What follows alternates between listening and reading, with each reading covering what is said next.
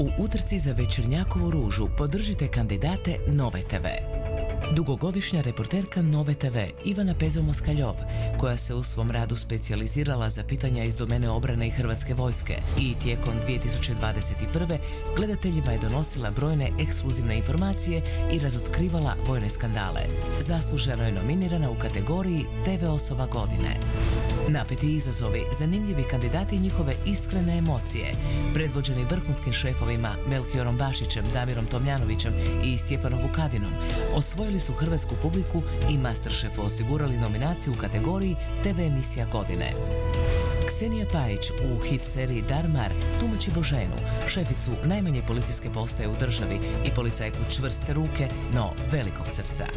Za večernjakovu ružu natječe se u kategoriji Glumačko ostvarenje godine. Valentina Baus i Dino Goleš, mladi talentirani i perspektivni voditeljski par, koji je uspješno spojio jedinstven šar i iznimnu profesionalnost, unio je novu energiju u najgledanije dnevne informativne minute i izazvao brojne pohvale gledatelja. Zato zasluženo nose i nominaciju za novo lice godine. Neka večernjakove ruže dođu u prave ruke. Podržite svojim glasom kandidate Nove TV.